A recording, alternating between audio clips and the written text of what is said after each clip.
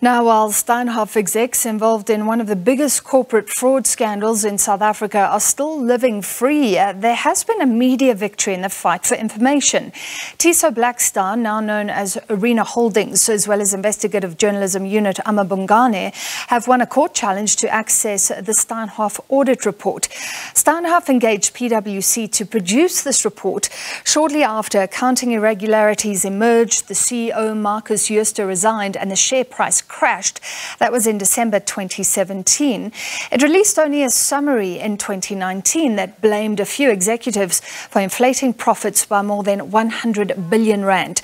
To discuss, we're now joined by Cherese Thakur, who is advocacy coordinator at the amaBhungane Center for Investigative uh, Journalism. Thank you for being with us, uh, Mr. Thakur. Uh, congratulations, although I see your co-managing partner at amaBhungane, Sam Sole, says they'll appeal, definitely. Thanks for having me on the show. Um, our experience is in litigation like this, it's often subject to appeal.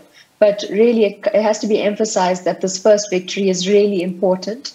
It sets the tone for any potential further litigation.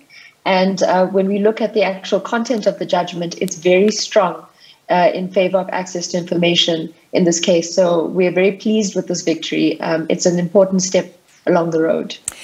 Since the whole debacle, um, Steinhoff has new leaders. It's claimed to be fixing things, to be caring about governance. So why are they withholding the report in the first place? Why not just tell the world what happened? Well, I think that's something you definitely have to ask them. But uh, from our perspective, um, this is an important piece of the puzzle. Um, if you recall the the um, allegations when they came out in 2017 um, how devastating they were to to so many people, including people who had um, pension funds invested in Steinhoff. It was a very scary time, and the media has followed uh, this this um, issue very closely. But there's always been that that missing aspect. Uh, the the summary that they had published was very scant on detail, and really, in order to get the full picture as to what um, transpired um, in in 2017 and, and the aftermath, this PwC report is, is really a, an important piece of the puzzle. So um, perhaps there's something um, incriminating, perhaps there's something that they don't want the world to know. Uh, they claimed it was legally privileged, but the court dismissed that argument uh, for several reasons, examining all the evidence uh, in play. So um, the ultimate uh, outcome of this is that really this is something that the people have an interest in knowing. And yeah. um, as amaBhungane and Financial Mail were very pleased about this victory because it, it takes us a step forward to actually um, finding out what actually happened. I understand that Steinhoff argued that releasing uh, the, the report could actually jeopardize legal action against the likes of Marcus Jooste, the, the former CEO. Uh, but it sounds like they, they couldn't prove anything like that. Indeed. Um, so the, the question was whether the report was legally privileged. And that question rested on whether litigation was contemplated at the time that they commissioned the report um, from P- PwC. So they engaged a law firm, Werksmans, to actually issue those instructions to PwC. And it seems that by kind of invoking um, a, a, law firm's uh, services and at the same time having documentation um, marked, you know, legally privileged and confidential, Steinhoff tried to establish that there was they, that they did actually contemplate uh, litigation at the time that they commissioned this report.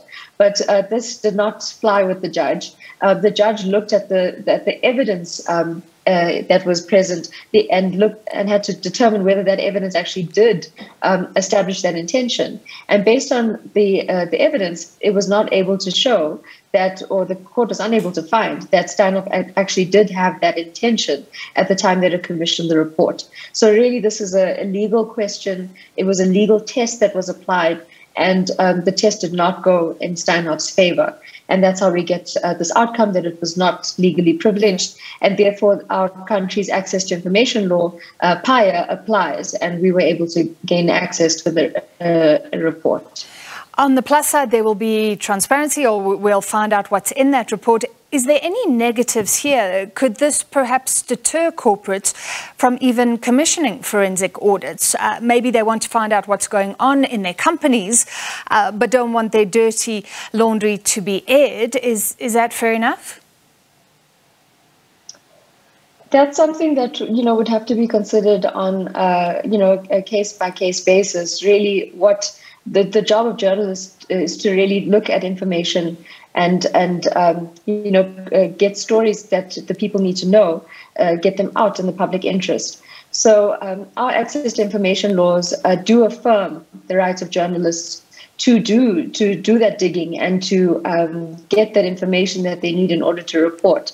So um, it's it's you know it's part of the the legislative uh, framework. It's part of the constitutional framework.